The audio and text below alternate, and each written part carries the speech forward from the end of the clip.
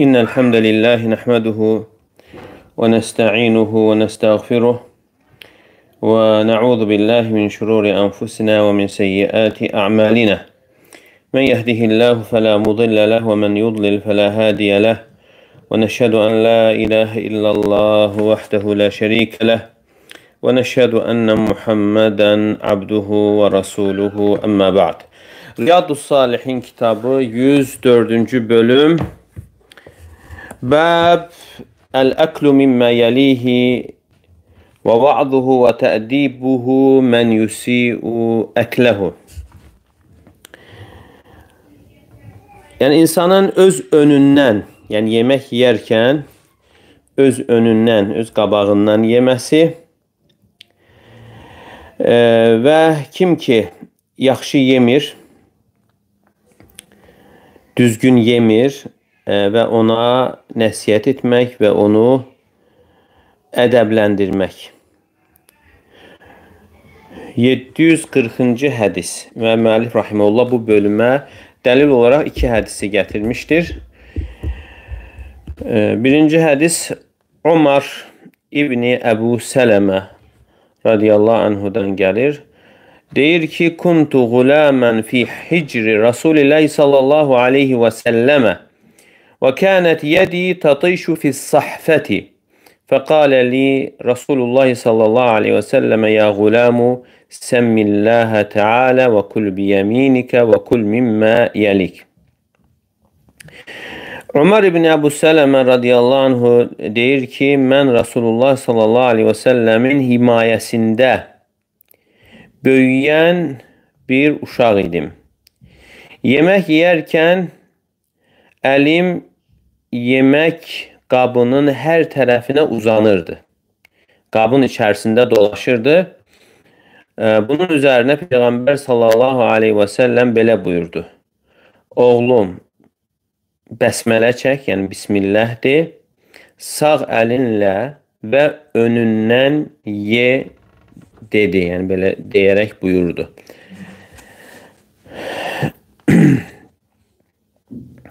Yəni bu hədis, yəni bundan öncəki bölümdə də keçmişdir. E, yemək yeyərkən bismillah demək bölümündə e, və həmçinin insan öz önündən yeməlidir bölümündə keçmişdir. Və bu e, bu hədis 3 ədəbi özündə əhatə edir. Bismillah demək, sağ əllə yemək və e, insan öz önündən yeməsi. Və burada isə deyir ki, ona nəsihət etmək və ədəbləndirmək.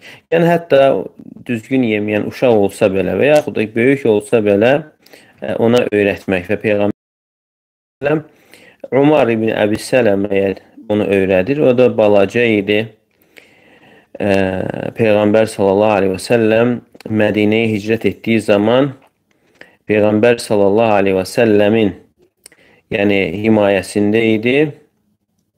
Çünki Peyğəmbər onun anası, yəni Ummu Sələmə ilə evlənmişdi.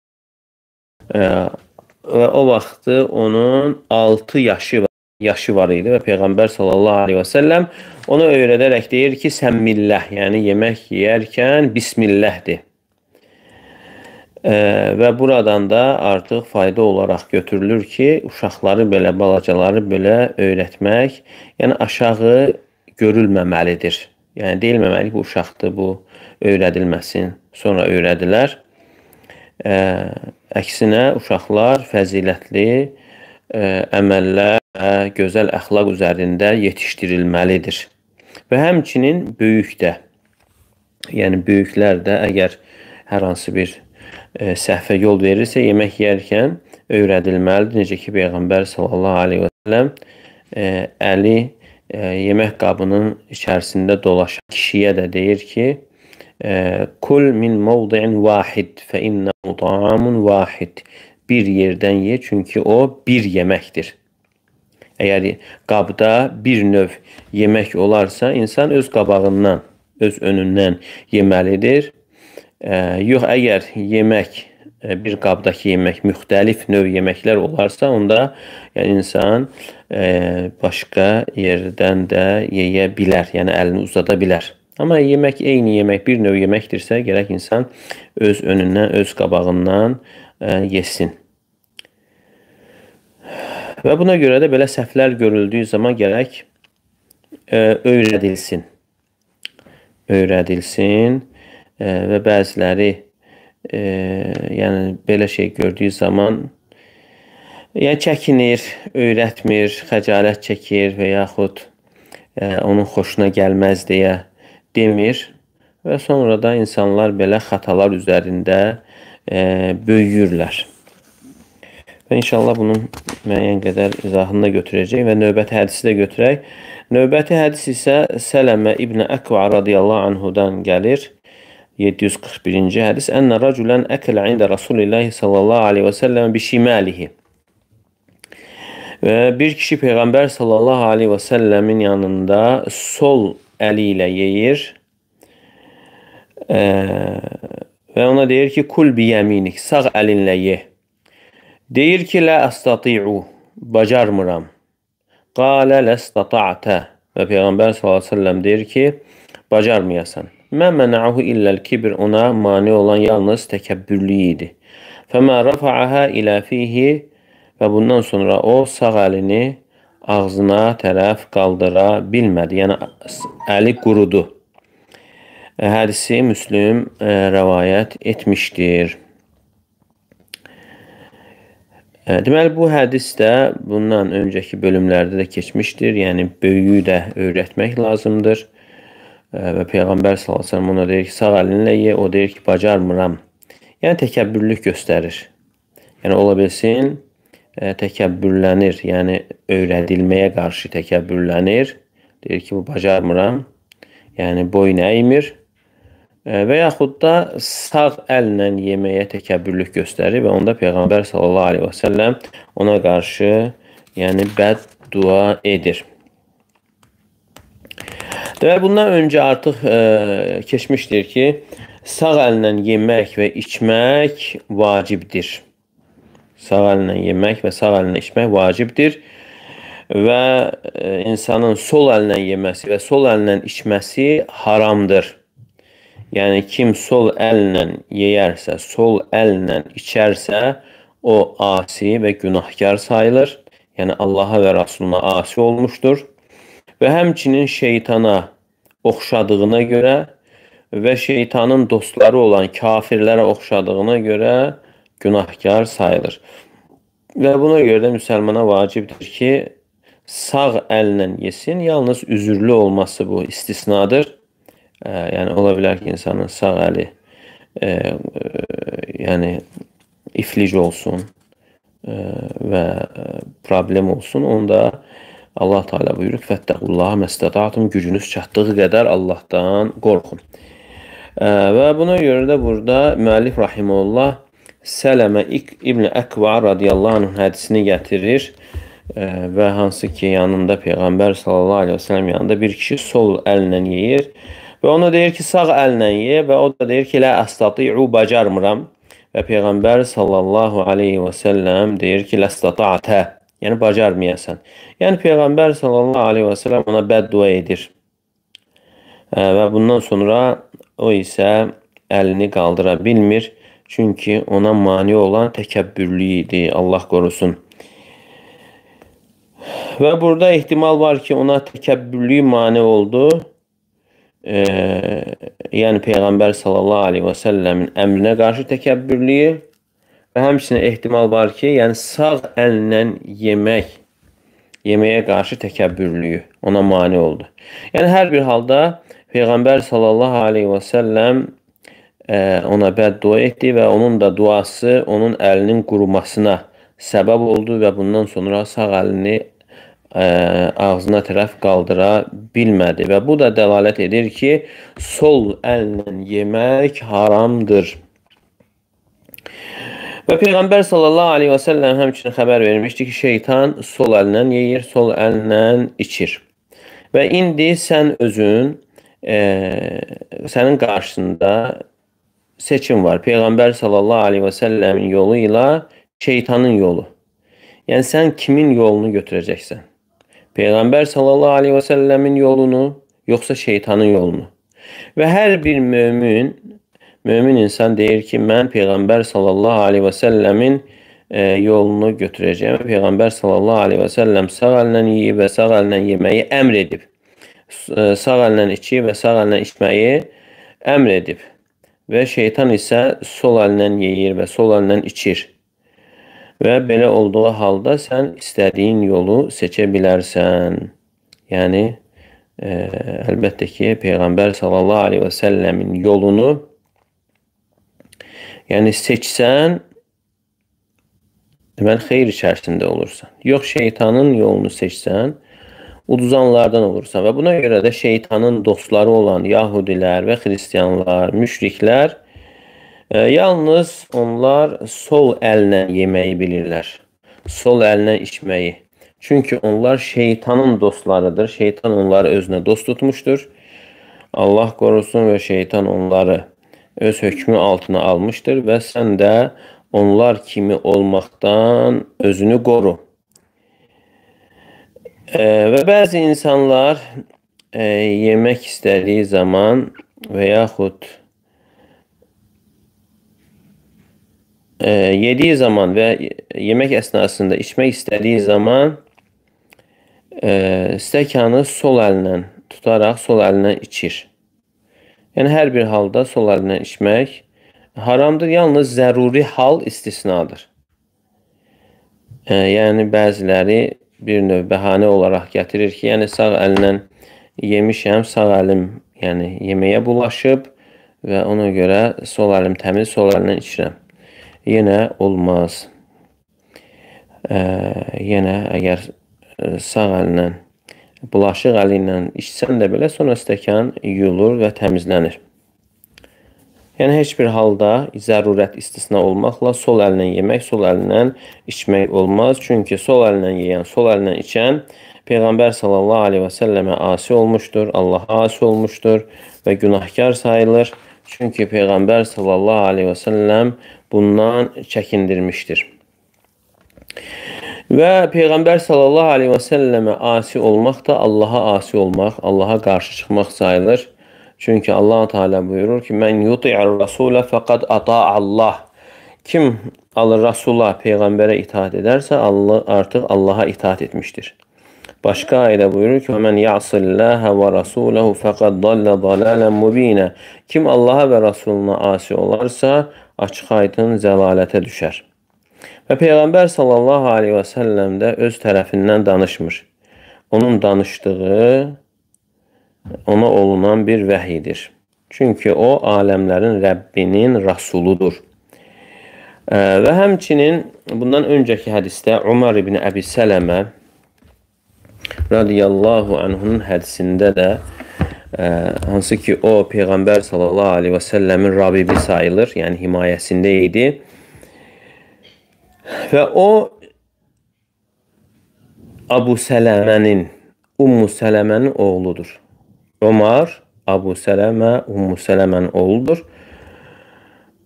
Və Ummu Sələmə yoldaşı Abu Sələmə öldüyü zaman yoldaşını çox sevirdi. Və eyni zamanda onun əmisi oğlu idi.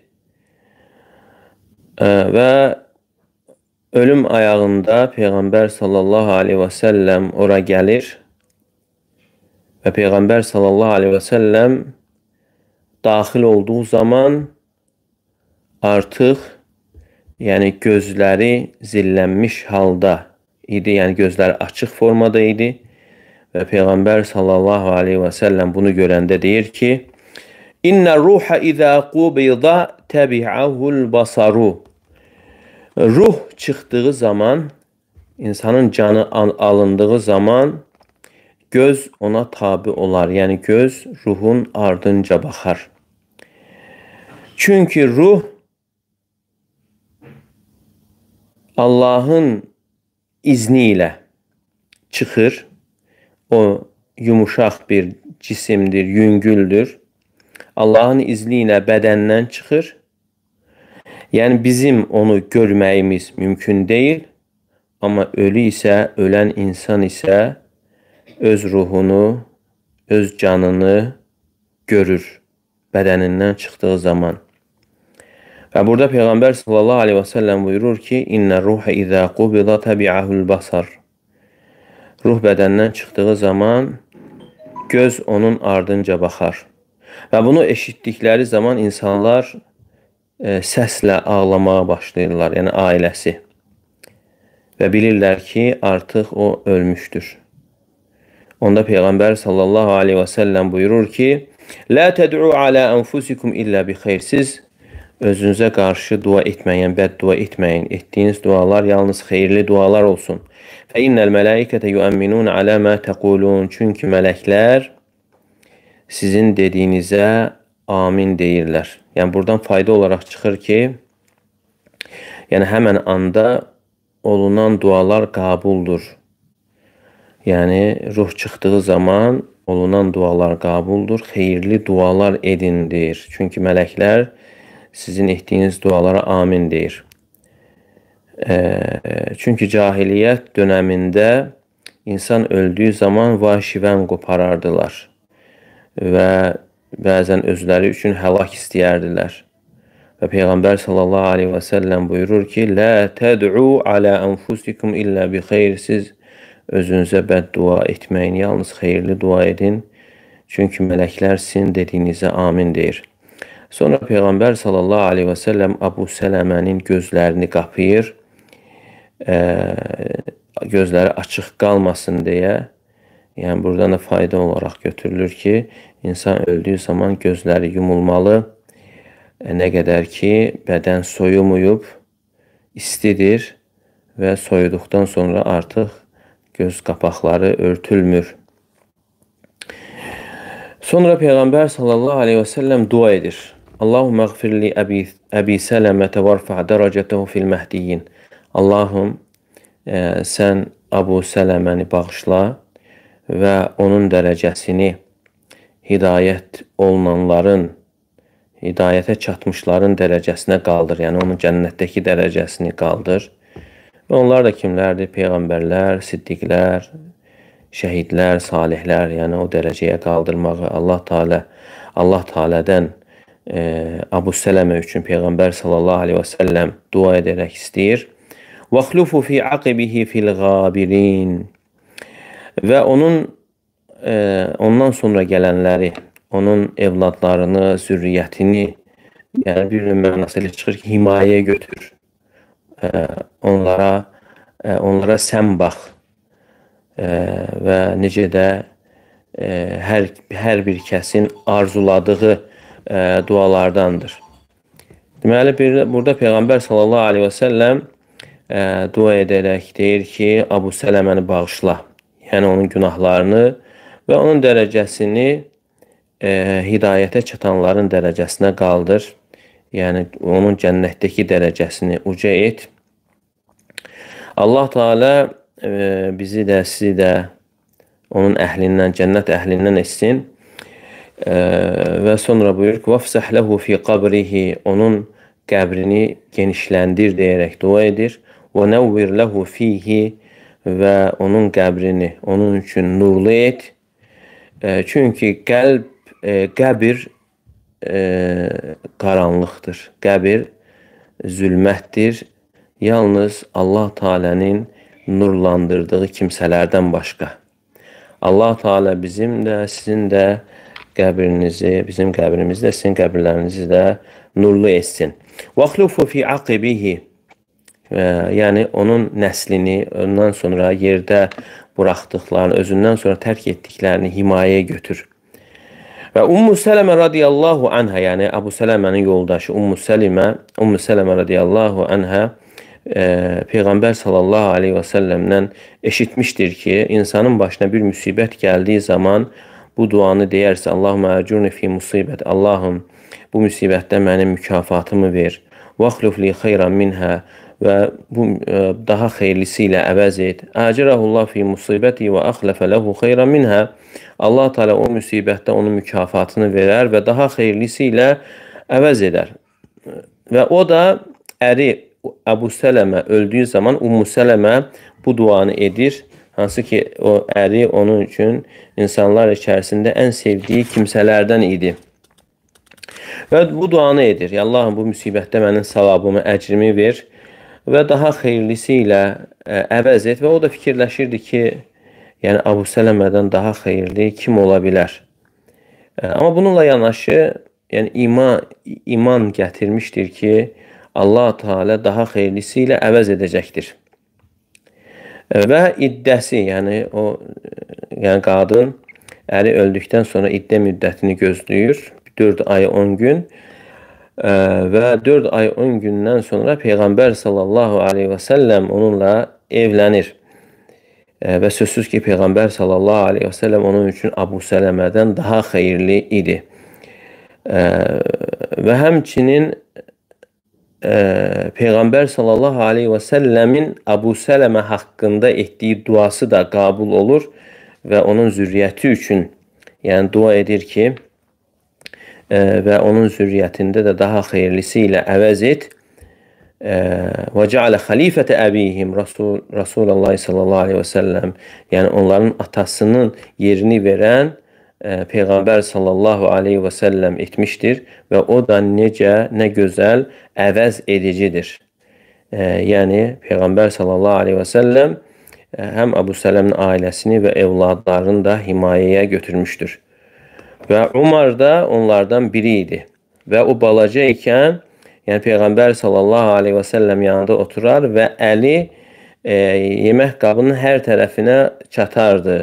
Yəni yemək qabının içərisində əli dolaşardı və Peyğəmbər sallallahu aleyhi və səlləm ona deyir ki, ya quləm, ey oğlum, sən milləh. Allahın adını çək, yəni bismillahdir yediyin zaman və kul bi yaminik və sağ əlinlə ye və kul mimmə yelik və həmçinin önündən ye. Və burada Peyğəmbər sallallahu aleyhi və səlləm ona üç sünnəni, üç ədəbi öyrədir. Birincisi yeməyə başlayarkən Bismillah demək, bu da vacibdir və sağ əllə yemək bu da vacibdir və həmçinin önündən ye, bu da yəni yoldaşlarla ədəbli olmağa aiddir. Çünki yaxşı ədəbdən sayılmır yeməyi, yəni qabın hər tərəfinə əli uzatması və buna görə deyir ki, sən önündən ye.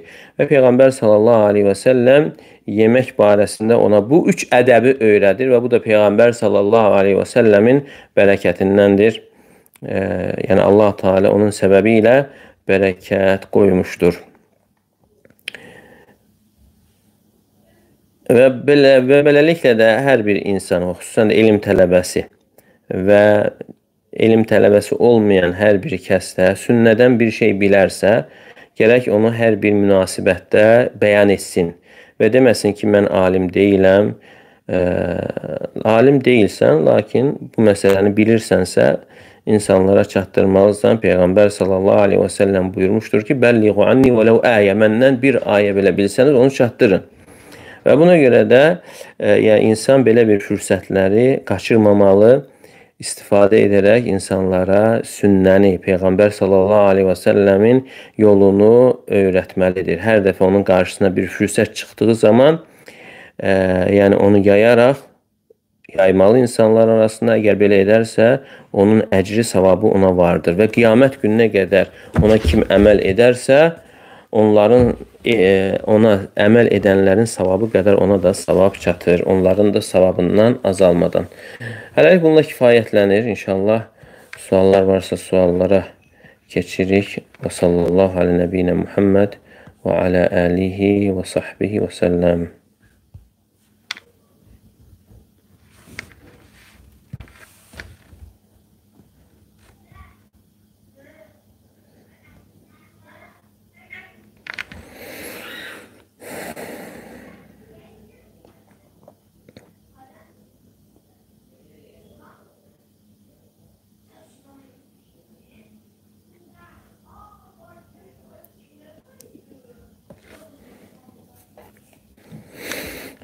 Sual verilir ki, Peyğəmbər s.ə.v Qaradaşa salam verdi, hədisini başa salında. E, yəni Peyğəmbər s.ə.v yəni tavafda toxunardı. E, toxun, birincisi e, mümkünsə öpərdi, sonra mümkün olmasa əlin, əli ilə toxunaraq və əlini öpərdi və o da mümkün olmasa uzaqdan təkbir gətirərdi. Allahu Əkbər deyərdi. E, sual verilir ki, dünən dediniz ki, dəvət edəndə əlavə adam gelirsə onun üçün izin alınmalıdır. Bu ancaq evə aiddir, yoxsa e, kafe, çayxana və s. yəni ümumidir. Yəni e, kafe, çayxana daha ümumidir e, və orada da ola bilər əgər e, dəvət sahibi orada yəni stul sayları ilə çağırıbsa, müəyyən bəlli bir sayla çağırıbsa, orada aid ola bilər. Onun üçün də gərək izin istənilsin.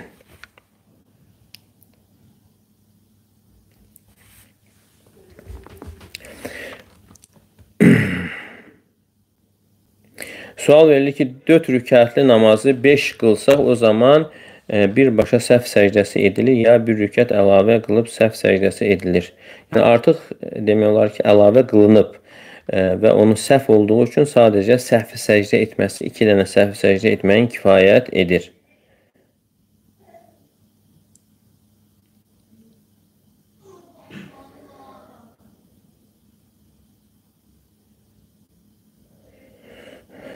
e, sual verilir ki, e, dərslərdə eşitirik ki, İslam bankları və riba bankları, İslam bankları deyərkən o necə olur?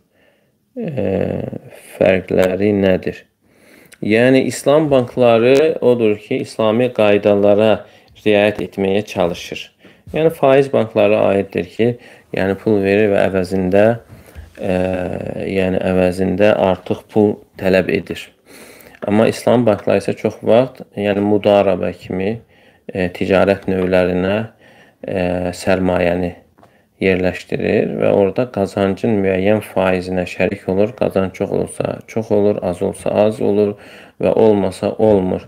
Amma faiz elədir ki, və verir e, və o onu maraqlandırmır. Yəni o insan o pulla qazandı, qazanmadı, yəni öz faizini tələb edir. Ona görə e, yəni faizlə ticarətin fərqi odur ki, ticarətdə risk var.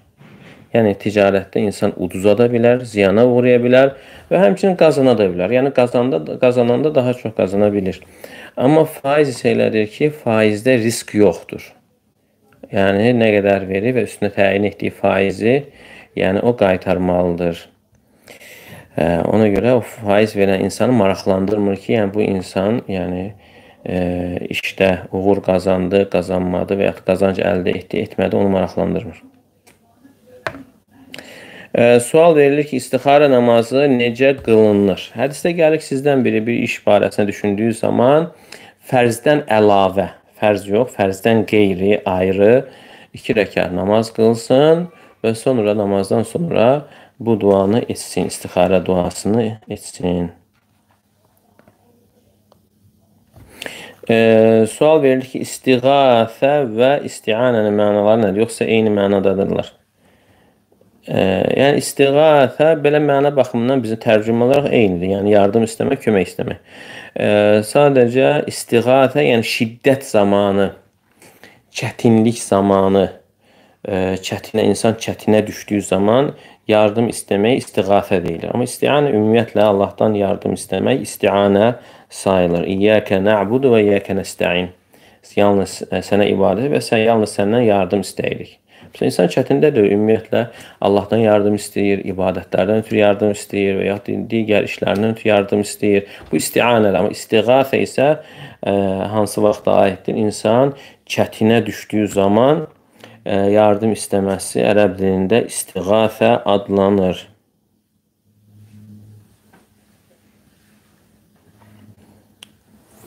E, sual verilir ki, şiə namaz qılan yerdə namaz qılmaq olarmı?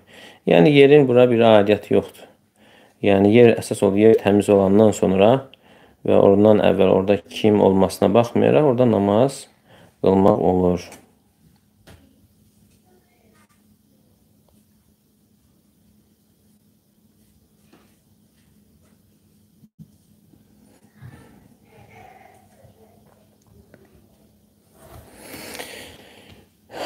Ə, sual verilir ki, hicabın üstündən məhz etmək olar, onun Onu hansı alimlər deyib ki, olar.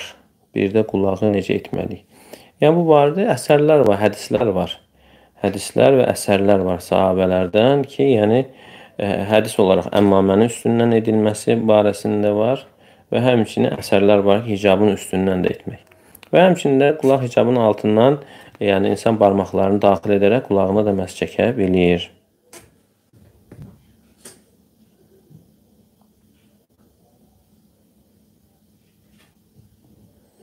Və yaxud da çətindirsə ona da ehtiyac yoxdur. E, çünki hədisdə gəlir ki, əl-uzunani minər-ras. Qulaqlar başdandır. Yəni qulaqlar başa aiddir. Buna görə ümumi çəkildisə, xüsusən yəni e, hicabın üstündən çəkdiyi zaman artıq ona da ehtiyac qalmır.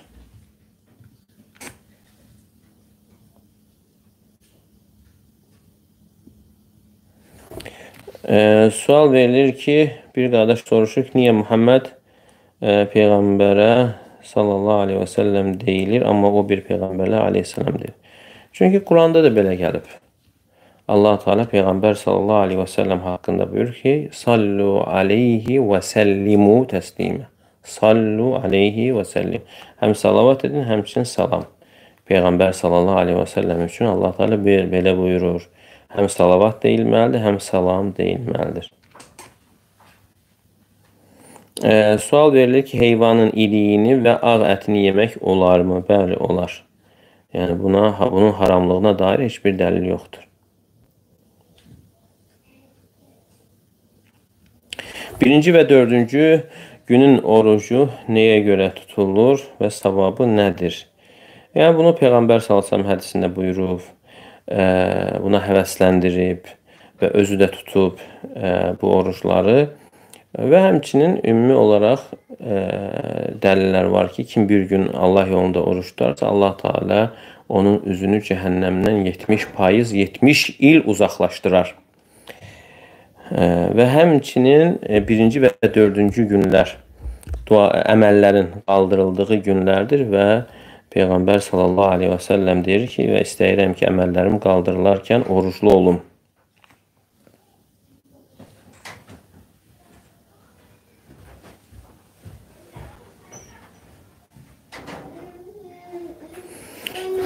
Sual verilir ki, deyildiyinə görə dünənki gecə xüsusi bir gecə idi.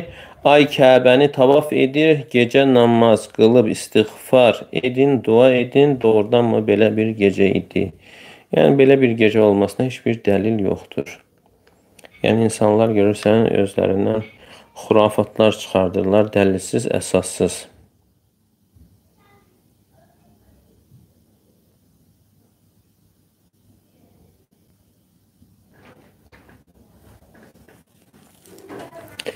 E, sual verilir ki, ticarətdə xeyrə şərik olduğumuz kimi ziyana da şərik olmalıyıq, yoxsa qarşılıqlı razılaşma ilə ziyan bir tərəfli ola bilər. Əgər bu şəriklikdirsə, ə, bu hər iki tərəf xeyrə və ziyana şərik olmalıdır. Yəni şəriklik başqadır, var mudaribə başqadır. Yəni şəriklik odur ki, ikisi də pul qoyur, ikisi də orada zəhmət çəkir, işləyir. Yəni bu şəriklik sayılır. Amma mudaribə isə yəni bir nəfərin pulu var, digər insanın isə pulu yoxdur, amma iş bacar, əlindən yaxşı iş gəlir bu pul verir, işləmir, amma o isə pul qoymadan iş görür. Belə olduğu halda əgər o tərəf səhlənkarlıq etmədən, yəni o bacardığı kimi işləyir, heç bir səhlənkarlığa yol vermədən, əgər onun pulu batarsa, onda e, yəni pul batır. Yəni pul tərəf pul verən tərəfin pulu batır, onun isə işi batır, işi yoxa çıxır. Yəni ziyan demək olar ki, əsasən pul baxımından verən tərəfin üzərinə düşür. Amma şəriklikdə isə qazanc və ziyan hər ikisinin üzərinə düşür.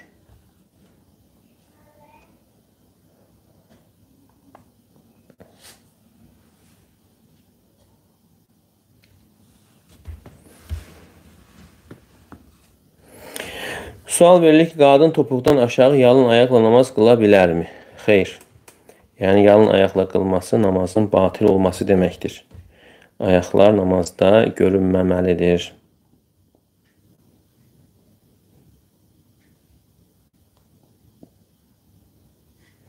E, sual verilir ki, işə namazını iki nəfər və yaxud 3-4 qılanda 3-cü, 4-cü rükətləri səssiz qılınır. Səsli mən namazı qıldıran, yəni imam nəzərdə tuturam. Yəni sual tam aydın olmadı. Əgər e, imamla qılınırsa, Sonra iki nəfər gəlib qoşularsa 3-cü və 4-cü rükətdə e, artıq e, sonra qoşulanlar üçün 3 ilə 4 onların 2 birinci və ikinci rükətləri sayılır və sonra onlar qalxıb 3 öz namazlarının 3-cü və 4-cü rəkətlərini qıldıqları zaman onu səssiz qılmalıdırlar. E, çünki onların artıq 3-cü və 4-cü rükətləri sayılır. Yəni 1 ilə 2-ni imamdan qıldılar artıq. Və buna görə də 3 ilə 4-ü səssiz qılırlar. Sual verilir ki, xristianların yeni il bayramını nəyə görə qeyd etmək olmaz? Ona görə ki, bu onların kafirlərə aid olan bir şeydir və Peyğəmbərimiz sallallahu aleyhi və səlləm də bizi kafirlərə oxşamaqdan çəkindirmişdir. Və buyurmuşdur ki, mən təşəbbəhə bi qavmin fəhvə minhum. Kim bir qövmə oxşayarsa, onlardandır. Yəni, müsəlman öz əqidəsi ilə izzətli olmalıdır. Kiməsə tabi olmalı deyildir. Və həmçinin Peyğəmbər sallallahu aleyhi və sələm Yahudi və xristiyanlara müxalif olmağı bir çox hədislərində buyurmuşdur. Uşağa ad qoymaq atanın haqqıdır. Bəli, uşağa ad qoymaq atanın haqqıdır.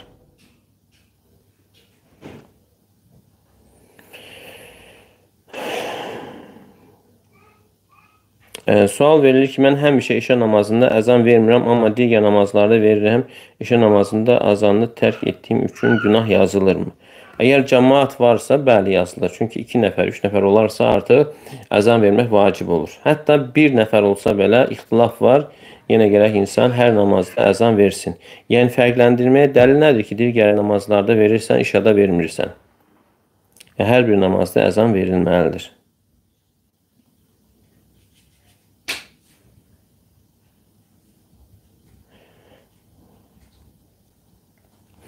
E, sual verilir ki, bir qohumum var universitetdə zoologiya müəlliməsidir. Dərsdə tələbələrə dərs keçdikdə qurbağanı kəsirlər və daxili üzvlərini öyrənirlər. Bu iş günahdır. Əlbəttə bu haramdır. Xüsusən belə heyvana əziyyət vermək və ümumiyyətlə qurbağanı belə öldürmək qadağan gəlmişdir. Qurbağanı öldürmək xüsusi olaraq yəni qadağa gəlmişdir. Yəni Peyğəmbər sallallahu əleyhi və səlləm əziyyət verən e, heyvanları öldürməyi əmr edib. Amma qurbağa barəsində isə xüsusilə qadağa var ki, onu öldürmək olmaz.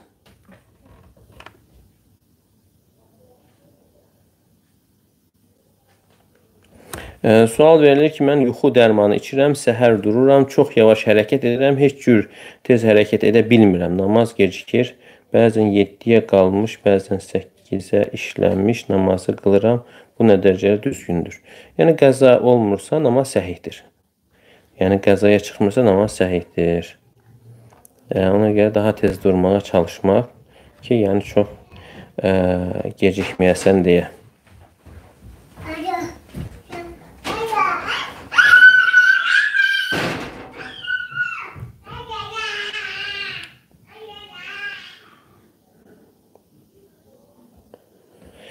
Sual verilir ki, namaz qılıb qurtarandan sonra demək olarmı Allah qəbul etsin? Yəni bu sünnədə gəlməmişdir. Sünnədə gəlməmişdir. Yəni bunu davamlı demək artıq bidət olur.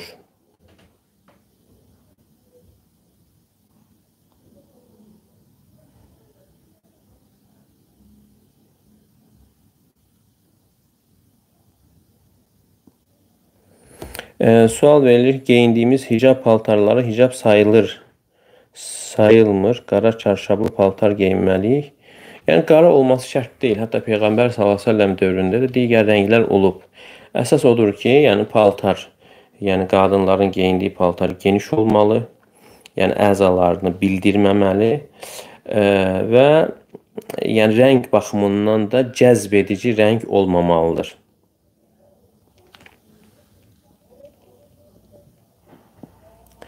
E, sual verilir ki, hicamə etməkdə əcr savab varmı, sünnədirmi? Yəni, daha yaxın olan odur ki, hicama bir yəni, müalicə e, yönlü bir əməldir. Müalicə baxımından edilən bir əməldir e, və bu sırf ibadət yönlü deyil. Ona görə yəni insanın etməsi yaxşıdır. E, sual verilir ki, qara balaca it saxlamaq olar həyət evində sadəcə ayaqlarında bir balaca ağ tüklər var, çox az miqdarda. Ümumiyyətlə iti saxlamaq məsləhətdir və xüsusən də qara iti gərək insan saxlamasın.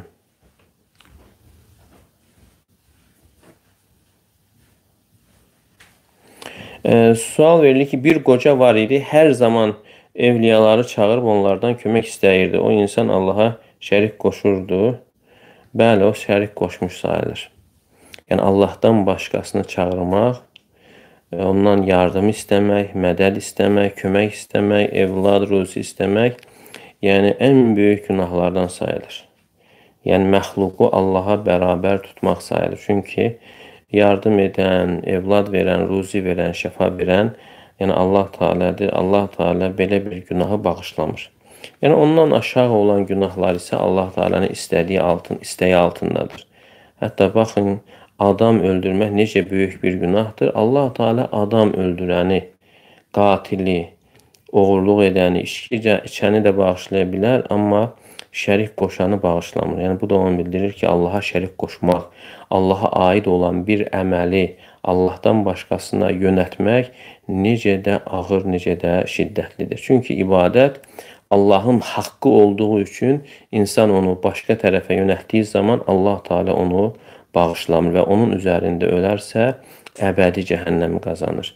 Yox, əgər insan tövbə edərsə, tövbə edərsə hər bir günah bağışlanır nə qədər böyük olmasına baxmayaraq, əgər insan ölməzdən əvvəl tövbə edərsə, bağışlanır. E, sual verilir ki, işə namazının sünnətini qılandan həmən sonra gecə namazı qılsam, səsli qılım, səsli. Yəni gecə namazı səsli qılınır. Səsli qılınır. Əgər durmaq ehtimal böyükdürsə, daha yaxşıdır ki, oyanandan gecə oyanandan sonra qılmaq. E, namazda oxunan hər surənin əvvəlində Bismillahirrahmanirrahim deyilməlidir.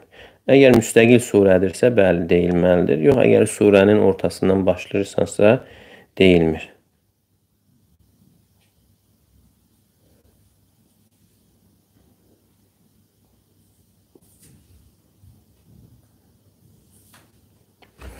Sual verilir ki, belə bir sual var. Hicablı qadın niqabı istədiyi vaxt taxıb istədiyi vaxt aça bilərmi?